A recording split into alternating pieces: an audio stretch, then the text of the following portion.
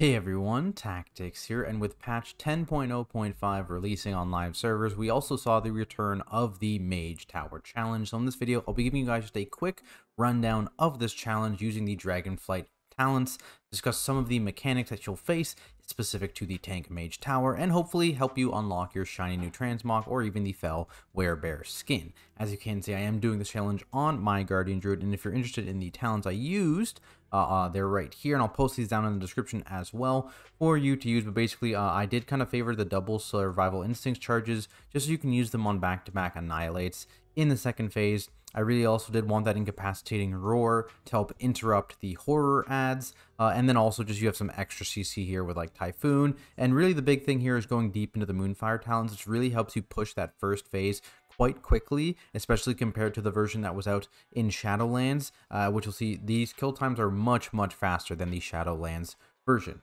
Uh, but now let's just head into it here, walking through the challenge. Uh, so right off the top here, of course, uh, you're going to have to face Inquisitor Variss, and basically you just want to keep up uh, as a Guardian Druid any dots you can, but basically just DPSing him as any other tank spec as much as you can, just watching this stacking debuff here, which will reduce your max health. You don't really want to interrupt Mind Rends, because you will want to use those interrupts on Drain Life, as you can see there. Otherwise, these eyes will spawn around the room. If they stare at you, you just want to stare directly back while you're killing it. If you aren't looking at them when they actually finish that cast, you will get knocked back a decent distance and potentially off the platform. So focus those eyes down. Guardians have a pretty easy time with this because they can just spam Moonfire other tanks, whatever ranged abilities you can, uh, use them on those, or something like a warrior, for example, you could charge over, uh, you know, give it one shield slam or whatever to kill it, uh, and then move back to whatever you're doing. As you can see here, I got to five stacks of this puddle debuff here, and then I'm just kind of waiting for it to expire before I do any more damage to him. And I'm just going to try and maintain my dots on Variss here, just for that consistent damage. These Nether Horror ads, they're going to spawn around the room here, uh, and basically you just want to make sure that they never get their cast off. Uh, they're going to begin to cast Nether Storm. I'm just going to in-cap roar it. In-cap roar will work for literally every single set of these guys because they spawn far enough apart for you to do that. So Guardian has it pretty easy. Other tanks, use whatever AoE CC you have available to you. Uh, if you're a warrior, for example, Specking into Shockwave may not be a bad idea. You could also kind of alternate things like uh, a Disrupting Shout and Intimidating Shout, for example. Uh, though, again, you might end up losing coverage later on, but that's just if you don't want to invest the capstone points again to Shockwave. But I think Shockwave is definitely worth it for this challenge. And if you ever run out of CC for these horrors, you can use these orbs here to your advantage. Uh, using them uh, will heal you to full health, of course, but they will also disorient all these other mobs uh, nearby. So you can use that to stop those casts as well. And the big thing is never let those casts go off. They deal a ton of damage, especially to your allies here if these mobs are on top of your allies. So that's number one thing here. And this entire phase is basically just a balance of dealing damage to the Inquisitor in a timely manner. And as a Guardian you're like I mentioned, it's it's much easier with the Moonfire build. I'm just going in here till around 5 stacks. I'm going to use my kick. Uh, eventually here, I'm saving that 4 stacks because I'll have to go up again to interrupt in a second. There's Drain Life interrupt that, it'll give me the five stacks, and I'll finish killing the eyes. The eyes tend to be the priority here just because you don't want to deal with like three eyes or two eyes even up at the same time if they spawn in different sides of the room. So make sure you focus on eyes ASAP. Uh, and then here, again, as you can see, I'm just kind of spamming Moonfire on the Infernal here from far away. Uh, they have that big knockback there. If that hits you, it's a giant knock. Uh, if you have some sort of displacement or anti-displacement effect, right, Death Advance, uh, any form of charge, that'll work. You can obviously charge back to any mob in range. You could Death Advance to not be knocked, that kind of thing. Bubble uh, works as well. Uh, but otherwise, I'm just going to try and kill it. Uh, they aren't, they never permanently die, so these will always just die and then respawn. As you can see, like you can see the body there, that's exactly where it'll respawn. Uh, so it will come back, and you're going to see I'm kind of going to slow DPS here uh, a little bit just so I can actually manage that because I kind of want to push into the second phase here right after a spawn of the nether horrors and killing an infernal. So you're going to see here I've actually stopped hitting Variss uh, entirely. These nether horrors are coming out. I interrupt the uh, thing, hit the eyeball, then I'm killing these nether horrors as they come in. I'm going to stop their cast. The infernal has resurrected now.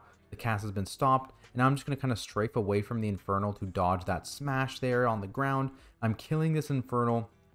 And this is where I kind of want to push the phase as I kill the Infernal and as I kill Variss there. So that's the phase push. And this is where I'm popping all my cooldowns. So you saw there, solved my puzzle box, uh, I'm popping Incarn. I'm going to pop a Heart of the Wild here for the arcane damage increase. All my cooldowns are going off here. And then I'm moving slightly away from the inside to avoid these beams. Kind of staying around this area. I cheat a little bit towards the inside because I debate using one of these puddle or the one of the orbs here. Uh, but I realize I don't really need it right now. You can save those for like an oh shit moment in this phase. Uh, if you like ever, oh, a cast is about to go off, I really need one. I really need to heal to recover from an annihilate, whatever it is. Speaking of the annihilates, these do ramp up over the course of this fight.